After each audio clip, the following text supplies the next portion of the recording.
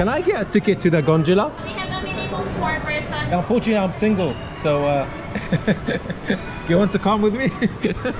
it's only minimum of four people on there. I guess a Filipino family is gonna have to be adopting me today. You're very lucky, sir. You're solo the Yeah, boat, sir. uh, I'm very uh, single as well. That's the problem. You don't need to buy your tickets.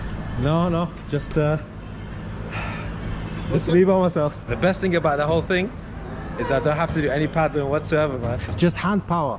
Hand power, sir. Amazing. If you want to lose your weight, this is the perfect job. Oh yeah, yeah, yeah. You know what? I found out the best way to lose weight and get really toned is stress. Stress is amazing to lose weight. oh, looks like we got some single ladies. Hello, single ladies.